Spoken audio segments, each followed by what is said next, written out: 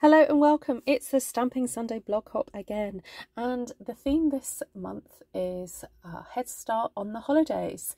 So I'm going to be using this gorgeous stamp set from the mini catalogue. It's in the August to sorry July to December mini catalogue and it's called Vintage Christmas and it matches with a stamp set that's in the annual catalogue and also a matching punch that will cut out this bottle. However, I'm not going to be using that today. I'm just going to be using the stamps to create a really gorgeous vintage kind of themed one sheet wonder. And then uh, I'm not, haven't decided what I'm going to do with it yet. I might, might make bookmarks. I might make a card or have a panel for, I don't know, a bag or something. But anyway, I just want to create something really pretty. So I'm using the craft white ink or the white ink to start off with to stamp my bottles. And as ever with the white ink you do need to give it a little bit of a love and attention the stamps. Uh, you need to sort of stamp them a bit more often into the ink pad. Now when I say stamp it, I mean more sort of like tap as opposed to um, push. You don't need to push down. You can push down when you when you get your stamp onto your paper but not not so much when you're actually trying to get the ink so tap tap. See that one I didn't tap as often, and that one's much better than that one. So, so say give it a good five, six, seven, eight, nine, ten. You know, taps to get it really loaded up. All right, so I want to use this one as well. Just think they look really nice, kind of together. So, there we go.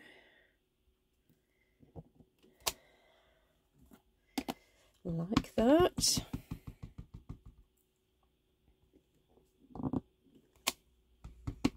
The texture's so pretty on the bottle. It's got this kind of lines or ribbed effect on it.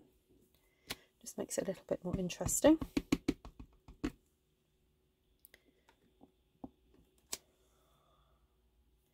think I'll just do one more down here and then we'll get started on stamping all the lovely floral elements. So we'll start with Poppy Parade and this is a really lovely kind of flower. Now the flower I do believe is supposed to, you can stamp it with the leaves as well but um, I, this is the first time I've ever used it so I'm just going to kind of go for it really and also I quite like the idea of the the flowers kind of spilling out a little bit. We're not going for like a super realistic um, depiction of flowers in a bottle. It's more flowers and bottle make the design all together. I'm not I want the flowers everywhere because it's so pretty.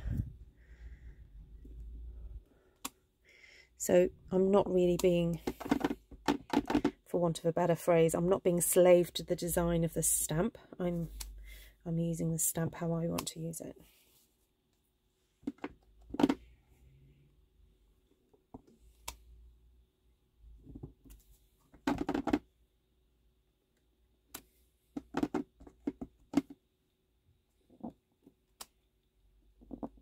Well, this is very enjoyable, very pleasant experience doing this think when stamps are so are designed so well, just makes it so pleasurable to be able to make designs using them.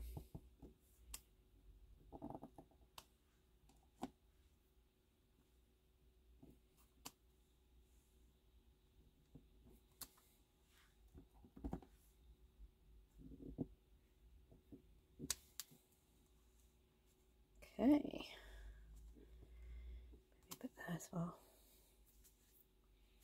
Right, I'm going to clean this off ASAP because that red will stain my stamps beautifully.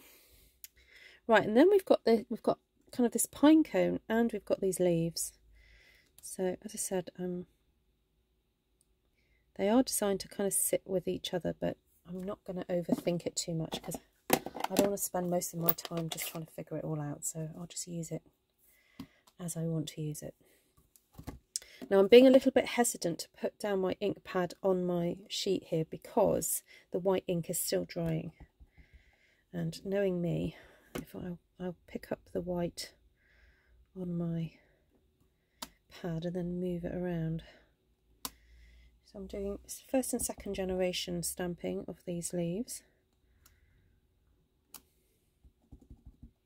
These are utterly delightful, to say. Really beautifully designed leaves.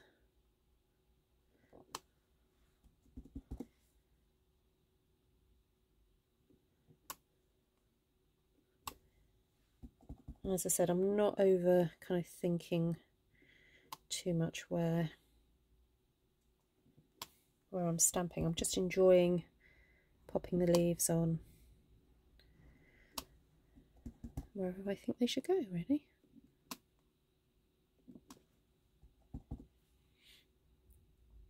By doing the second generation, I'm getting a really lovely lighter green. So the green I'm using is Old Olive. So I am filming this a little ahead of time as I think I'm going to be away the Sunday this goes live, although I do just need to check my calendar.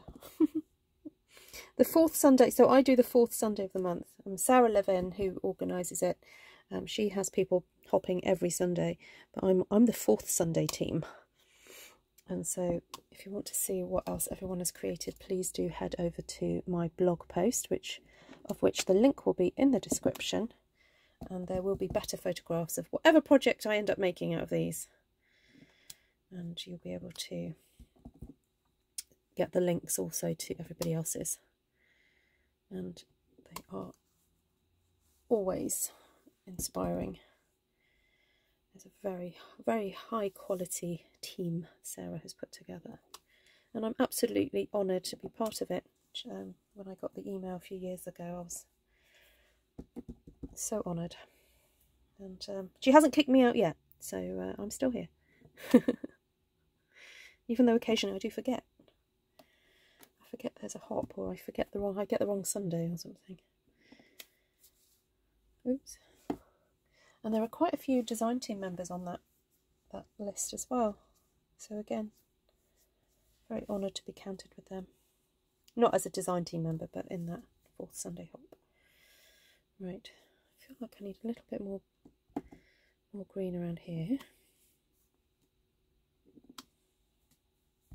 And I think there would be some coming down here as well. Oh, these leaves are just so beautiful. Really, really beautiful. And pop some there as well. Maybe there's two. Pop that there.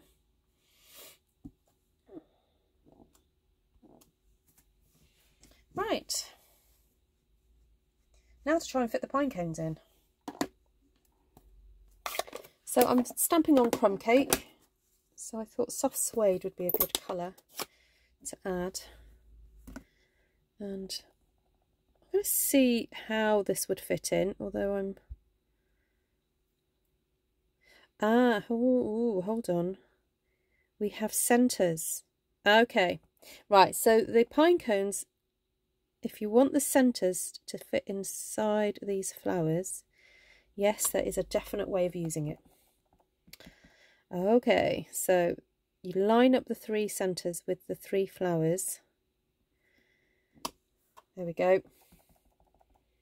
And that is what you do.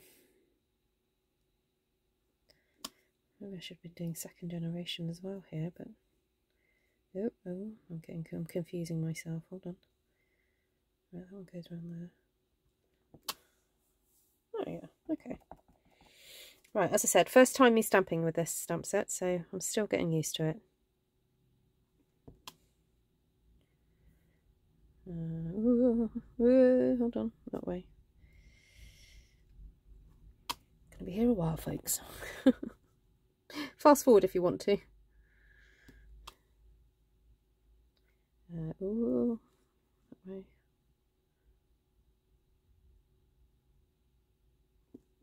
There we go. I'm going to sit down now. I'm getting tired. Okay, um, let's twist that round. That one goes like that.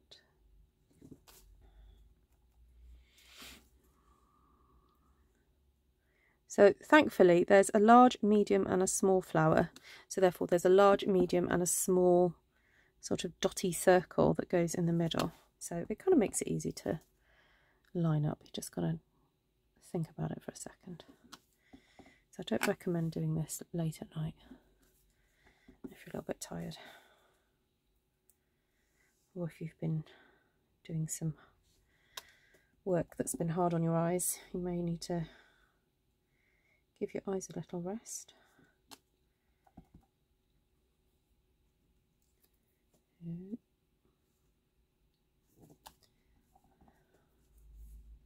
I've also got a bit of a glare from my lighting, but all right. Right, okay, so what am I missing?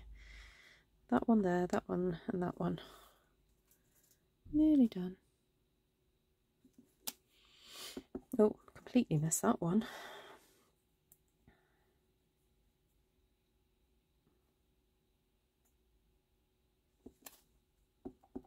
Nearly missed that one.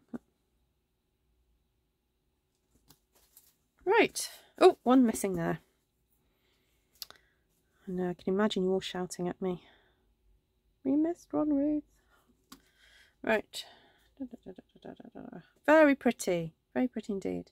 Right, and then we've also got this singular little leaf, which can then be stamped, I guess, anywhere you want it to, really. So I'm going to use a bit of garden green. I just thought it'd be nice to have a slightly different green. And this can be then, you know, popped anywhere you want really. So anywhere you feel that there's a bit of a gap in your design, you can just scoot. Oh look, I've made a boo-boo there, so let's try and hide that. There we go, nicely hid.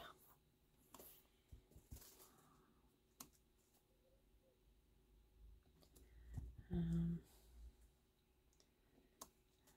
some leaves coming down over these bottles.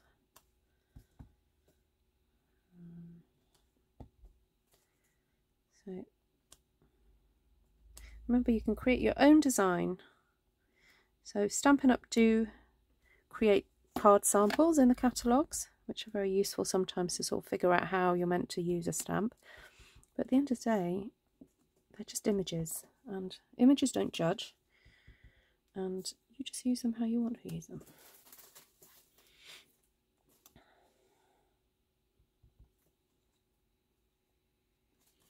And if anything, I would say my experience, people actually like it when you think outside the box a little bit, think think of using stamps in a slightly different way. Okay. Oh, there's a little gap there. Big gap there so I'm going to grab my red stamping Blend, like Poppy Parade, that'll do. And very quickly, just go around these berries. Just pop a little bit of colour onto them, or into them rather.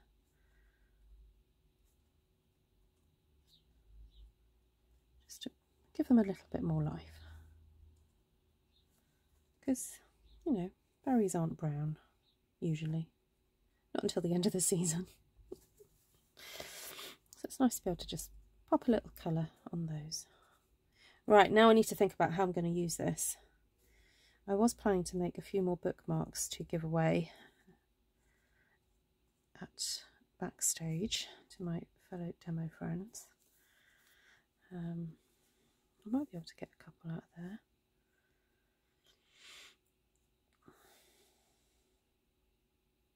I don't know. Seems a bit of a waste, really. Oh, I've just realised I've missed something up there. Oh, and I've missed one there.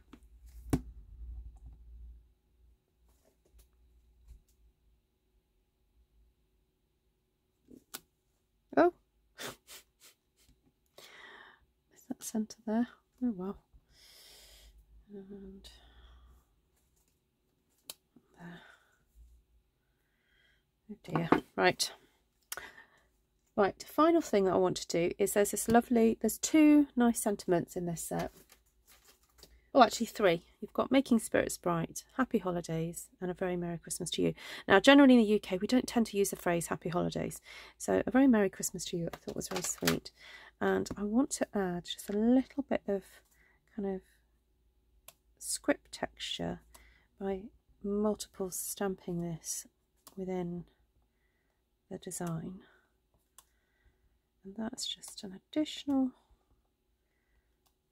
design in amongst the leaves and this can then fill all those little spaces that haven't got any leaves on them so I'm two step not two step second doing second generation to get sort of the dark soft suede and then the lighter soft suede in there and that way when you cut this up and use it every single part of the whatever you cut is going to have a design on it. I am wondering whether to put some in between the bottles a little bit because that area feels rather bare now. Yeah, let's do it. Let's do it. My bit of paper. Oh, so pretty almost seems a shame to cut up, but I will be cutting it up. I know some of you guys go, no, don't cut it up, but I will. And then I'm wondering if a little bit of splattage using um, my soft suede marker pen because at the end of the day it's supposed to be vintagey so let's let's do a little bit of splatting. There we go, because we haven't got any dotage in this stamp, shock horror. So just pop a little bit of that all over. And so that was a bit of soft suede, and then this is Mossy Meadow. I'll just do a bit of Mossy Meadow as well. I know it seems rather dark at the moment, but the colour will calm down in a second. Just got to let that ink sit and soak. Soak into the card. Right.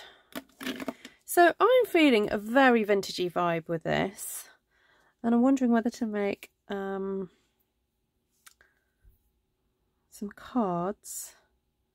Maybe decorate a couple of boxes.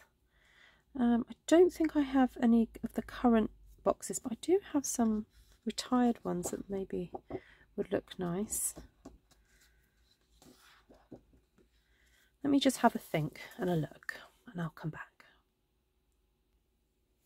Right, I had a little rummage in my boxes and I have found the gold mini pizza boxes. Now, I know that these may be retired in your uh, region, but in the UK, these are available and in Europe in the clearance rack. Really good value for money.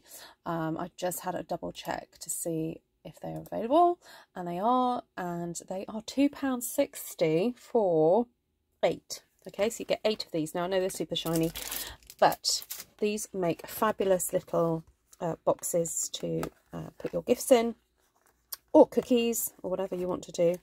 And they're really easy to put together. You just kind of like fold fold all the sections up like so. And when you've stamped you know one sheet wonder like this it, it's just really easy to decorate because you could just cut a panel and stick it on the front. So that's how you pop that together. And then that folds down. I know it's super shiny and then that goes into there like so. And there you have it. Okay, there's your, your box. So this measures just over three inches by three inches. And so I know that I'm going to, if I cut my piece of uh, cardstock,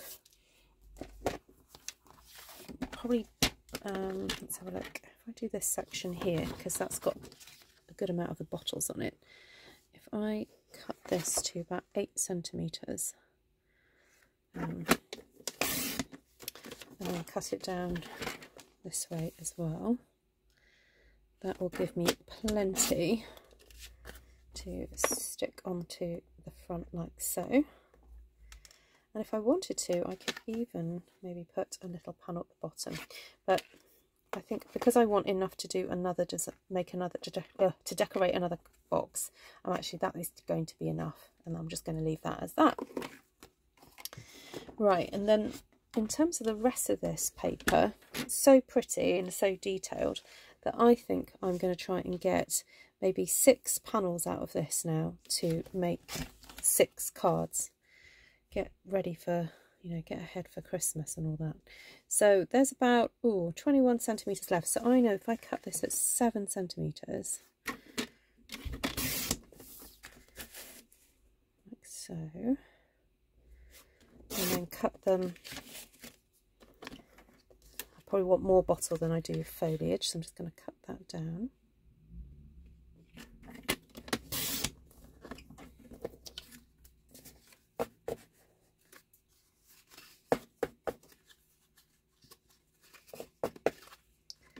Um, uh, if I cut this to, oh, if I cut that to about four inches, oh no 10 centimeters sorry. 10 centimeters there. Oh that was a bit naughty of me. I tried to cut three three layers then.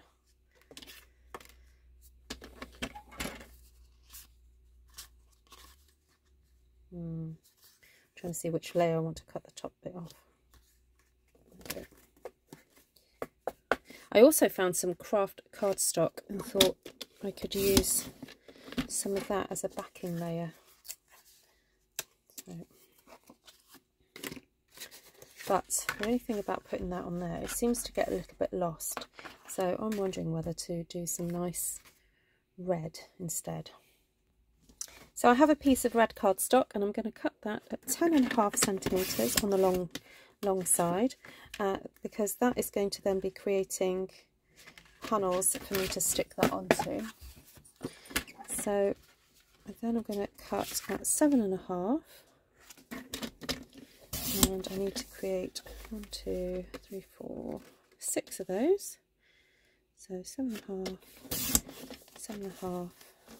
So I'm going to get six cards out of this, which is really cool. And I've got some spare little scraps there.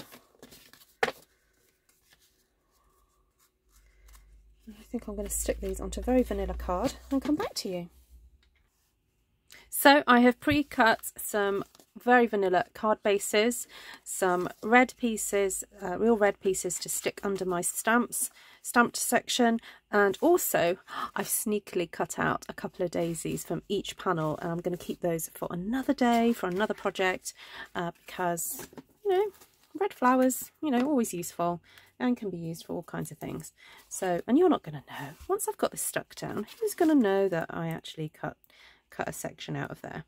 Okay, so my tip for sticking when you've got a hole in is just apply the glue um, around those holes and obviously a little bit in from the edge because you don't want that glue kind of squeezing out too far and then just apply glue as normal onto the back and then stick stick in the middle now, this is a tried and tested card format that I come back to again and again, especially for stamped one sheet wonders.